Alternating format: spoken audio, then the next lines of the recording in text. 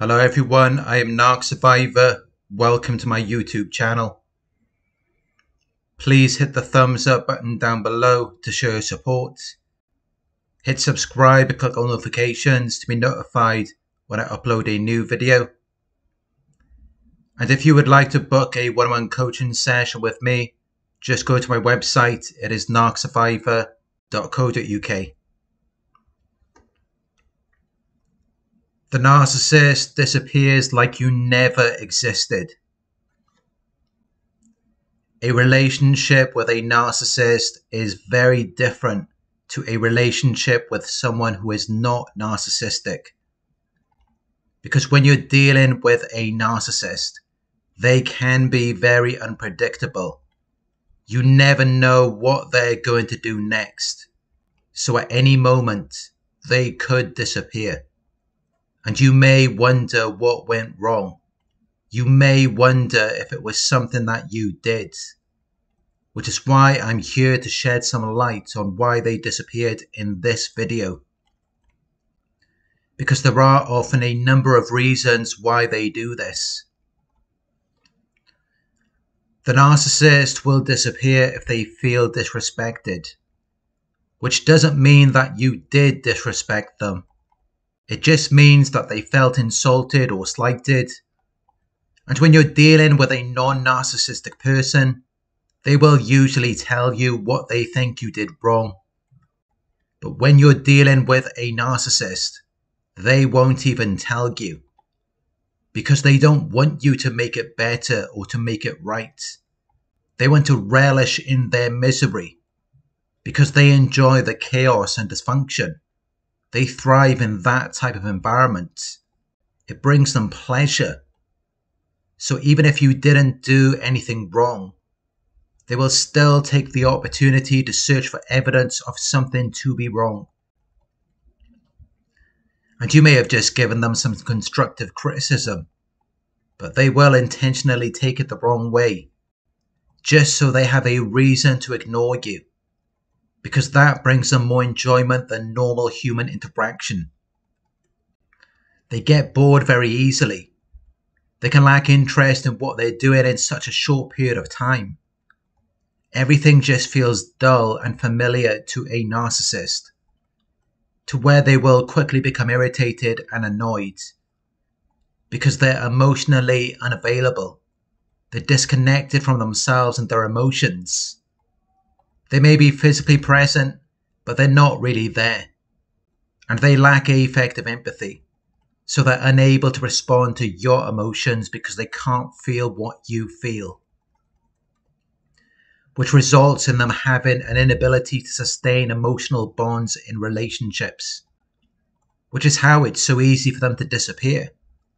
Because it's like they were never really there. They never actually connected with you on an emotional level they never shared your experience because they're too absorbed in themselves and their own interests and needs. So they can't even see you.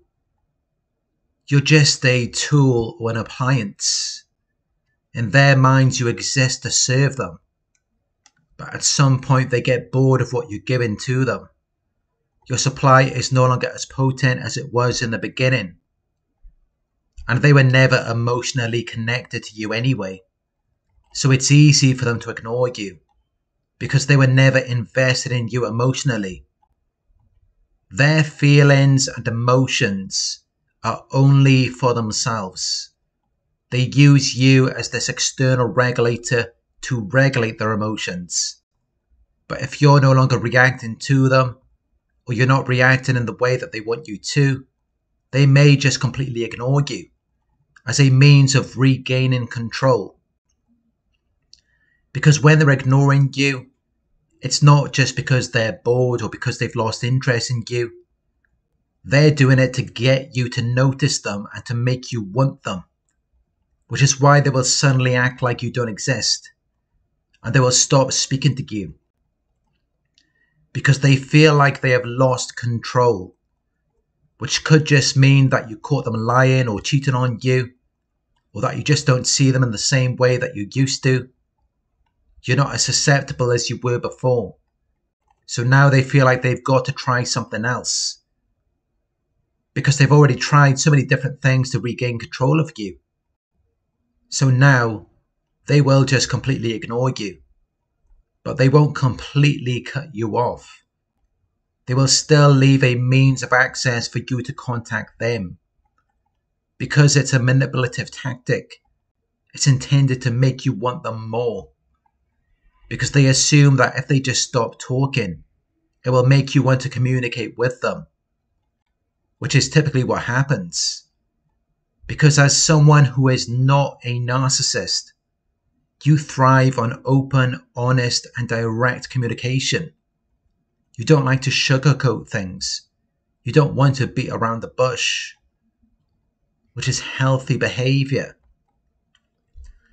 Because communication is the foundation and structure of a healthy relationship. You're supposed to talk about things. You're supposed to communicate. So if they stop communicating with you, you're longing and yearning to communicate with them, and it makes you want them. So then they're in control of the relationship. They ignore you to make you want them more.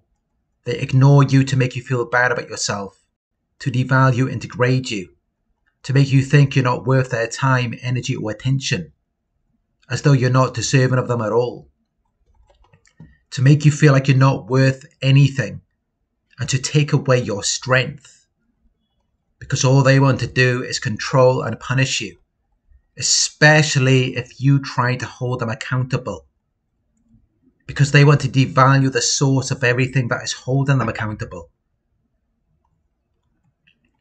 But even if you're not holding them accountable for anything, you may just be celebrating something.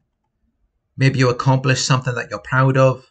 You graduated, you got a new job, you started a new business, and you're doing really good in your life. And then out of nowhere, the narcissist will disappear. And they will just completely ignore you and your success because they want to devalue you. They want to pull you down to their level because they want to control you. They want to stop you from getting ahead. They want to make you think that you're not doing anything great because they just want you to hate yourself. They want you to think that you don't even deserve to live. You don't even deserve to be here on this planet, as though you don't even deserve to breathe the same air as them, because you're that despicable and detestable. You deserve all of the blame and the contempt, when really, all they want is control, because they're very insecure about themselves and everything they put onto you is exactly how they feel in your presence and in comparison to you. Until the point where they're completely finished with you and they're ready to discard you. But then they don't even want to give you that. And it's not because they're mindful of your feelings and emotions, it's because you're not even worth the effort for them to get rid of you. So they just want you to take yourself out. It's like that day of the week when you've got to take out the garbage and maybe you're feeling a bit lazy and you just can't even be bothered to do it because it's not even worth your time. So you might just sit there and wait for someone else to take the initiative and do it. Or in the case with a narcissist, they might yell and scream until someone finally attends to it.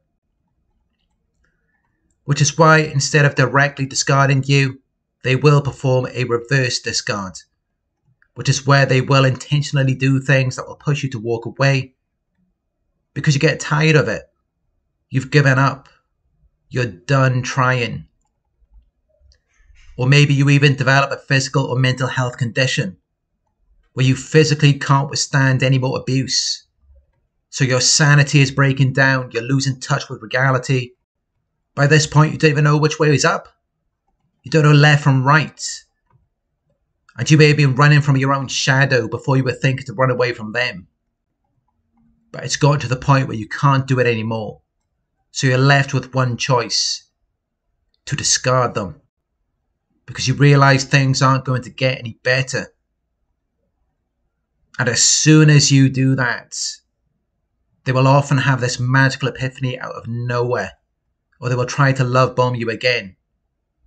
But it's not because they love you or care about you, It's because they can see that you're at your wits' end. You're so confused and annoyed that you don't know what to do next. You don't know which way is up.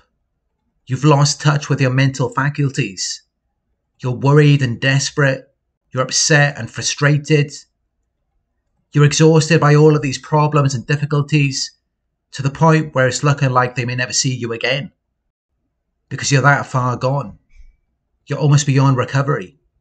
You're almost past the point of no return, the pain threshold, where you couldn't possibly take any more. The weakest, worst, and most confused condition that you could possibly experience. When you're approaching the end of your duration and usefulness, that is when they will typically pull the plug and call it a day. But even then, it's not because they care about you, it's still about control. They just fear losing you as their source of supply. Which is why this is a cycle. They will repeat again and again. It's like Groundhog's Day or the yo yo effect, where they're rolling you up and down, they're swinging you left and right, like they put you on one of those twister rides on the fairgrounds, and now you can't even stand, walk, or talk. You can't even see sense. You can't even remember your own name. To the point where they have to pull you back in. Because otherwise you might walk off the edge of a cliff. You're that dazed and confused that you don't know what is going on. You've completely lost touch with reality. That is when they've got to pull you back in because otherwise they're going to struggle to get a reaction out of you. They're going to lose control. So they're going to give you a little taste of reality just to get the cogs turning again, just to keep your mind running, so that you can continue supplying them with the energy and attention that they need. But that doesn't mean that this cycle won't repeat itself the next day or the day after that. They're going to keep pushing you to the point of no return. And the more they do it, the more skilled and manipulative they become. Almost to where they become like these masked magicians or illusionists. They know that all they've got to do is snap their fingers, touch your shoulder, or wave their hand, and poof, you're back in the zone. You're awake, you're aware of everything, you're able to keep giving them what they want, at least until they're ready to start the cycle all over again.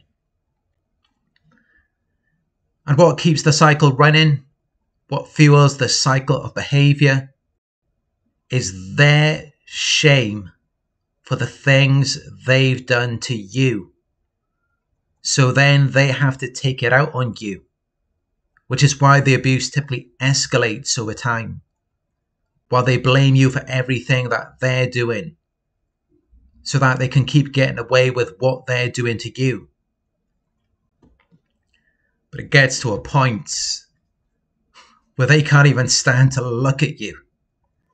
They don't even want to see your face anymore because your reactions to their behavior it becomes a reminder to them of everything they've done to you.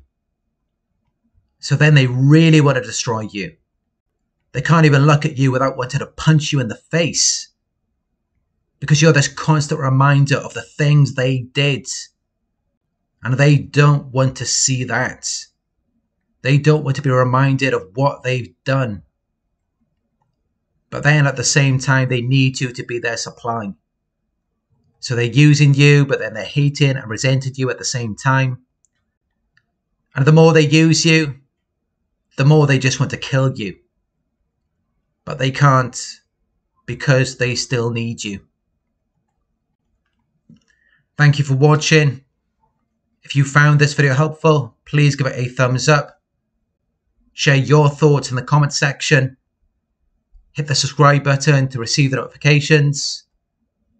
If you would like to support the channel, you can donate at paypal.me slash narcsurvivor. You can book a one-on-one with me on my website it's narcsurvivor.co.uk. Thank you for watching, and I'll talk to you soon.